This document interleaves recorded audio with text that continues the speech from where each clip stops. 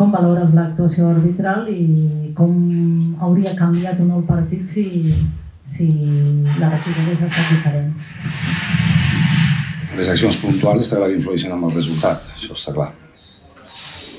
Per nosaltres el que hem de tenir present és que hem de ser més de la segona part, que hem fet una de les millors segones parts de la temporada. Però avui jugaríem mitja hora més i no marcaríem. Però el que no ens podem permetre és de la primera part, perquè ens han penalitzat això. I nosaltres amb equips que estan a baix ens costa estar esportiu concentrats perquè el gol que encaixem és de falta de concentració. Igual no el podem permetre. Però després sabíem que era un equip d'un joc de posició, de tenir la pilota, però xuts porteria. Una la primera part n'han tingut del, del Keita, però ja no fet res més. I la segona ha sigut brillant. I si haguessin marcat, o, bueno, hem marcat, no ens l'han donat. Estic segur que haguessin tornat a remuntar el partit. Però crec que hem de ser autocrítics i començant per mi, la primera part no passa res a la classificació, però crec que era un bon dia per fotre un cop de puny, d'acostar-nos més. És cert que queda molt, que no influeix allò de manera grossera, però jo me'n vaig enfadat de la primera part d'avui, perquè no hem estat ben pilota, no hem estat bé sense pilota, sempre arribàvem tard, i la segona part està clar que s'ho millorant molt i de fet ells no han passat de mig camp. Mm -hmm. Què li ha passat al Nàstic en aquesta primera part? Deies, hem de ser autocrítics, eh, jo mateix. Eh, no sé si creus que no l'has encertat amb algunes peces de l'equip o que el Nàstic ha, ha sortit més fred que, que un Sabadell, al que se li ha donat tot tipus de facilitat? Més millor que el rival, si els jugadors no rendeixen, la culpa és de l'entrenador perquè es posa. Això està clar.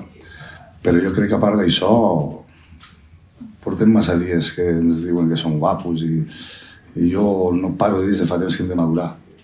I vull un equip que tingui més, més raça, més raça, més mentalitat, més, més ambició. No, no podem fer aquesta primera part. Nosaltres som el que som la segona part. Això. I hem fet mèrits. Avui no, no havíem de perdre aquest partit, per mèrits. Però això no va de mèrits. Al final 0-1. I repeteixo, crec que hem de millorar molt la mentalitat. Molt Marc. Bona Raül, Martínez, de Pulla Ràdio. Eh, parlant d'aquesta primera part, eh, hem vist un equip que ha volgut anar a pressionar dalt, eh, declaració d'intencions jugant a casa, entenc. Què creus que ha fallat en aquesta pressió? Perquè hem vist el Sabadell còmode, no? superant-la i, i bé, després tocava córrer enrere. Què creus que és el que ha fallat així? Ho has, ho has dit molt bé. Energia. Energia i esforços grans, sempre tard si es veia la intenció, però sempre hi havia continuïtat al joc del Sabadell, sempre arribàvem tard.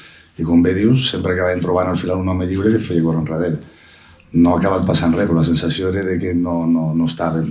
I després crec que en pilota la primera part en aquest moment. Creus que és un pas enrere, trenca la dinàmica, no? aquesta bona inèrcia, creus que és un pas enrere? Ja, ja no per poder-te col·locar a dos punts crec que era de, del primer, però ja a nivell d'equip, a nivell de dinàmica, crec que és un, un pas enrere perdre avui. No, però sempre que perds està clar que endavant no és. I si es volguéssim excusar, la categoria veiem que tothom guanya tothom. Però és que a mi m'importa un ple d'això. Jo vull créixer jo com a equip. I això el que hem d'entendre que hem de, hem de donar continuïtat. I que portàvem moltes setmanes fent-ho bé. Que si avui no pots guanyar, després de tantes setmanes fent-ho bé i més, i més victòries que empats, no perdis almenys empata, perquè a sobre encara haguéssim escurçat un punt més respecte al primer i al segon.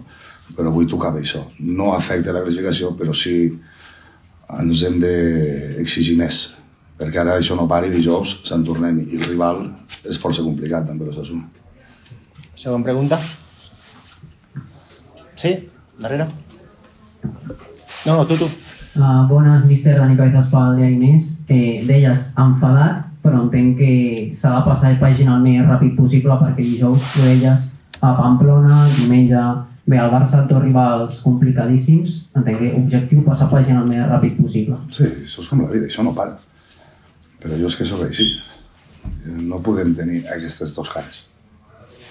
Una tan brillant i l'altra tan dolenta, per falta d'atenció, falta de concentració. No, ja ho traurem, semblava, no, ja ho traurem, no, ja va ser un, a remar però està clar que demà entrenar i a preparar l'Ossassuna perquè no para. I això és futbol, és el que es passa.